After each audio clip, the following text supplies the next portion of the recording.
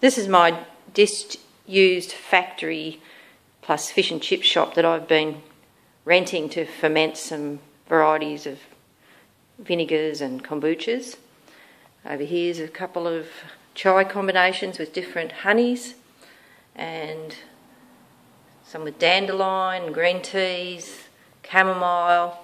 Chamomile here is not very clear, but it might change with time because I'm going to push them through to a vinegar stage.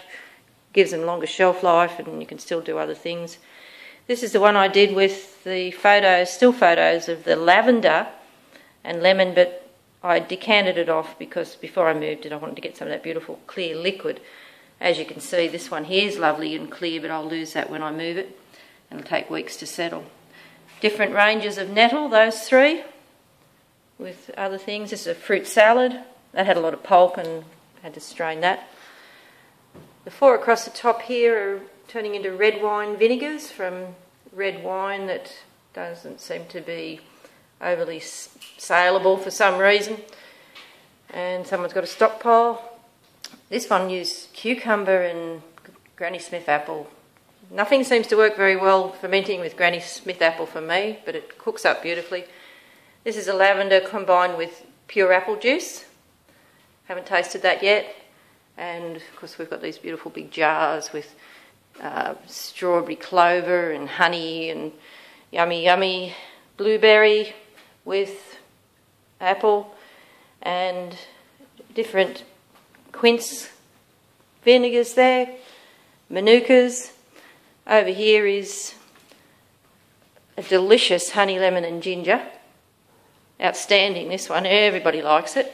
Once it goes through to vinegar, but it's pretty strong. And this one here's a cherry lemon.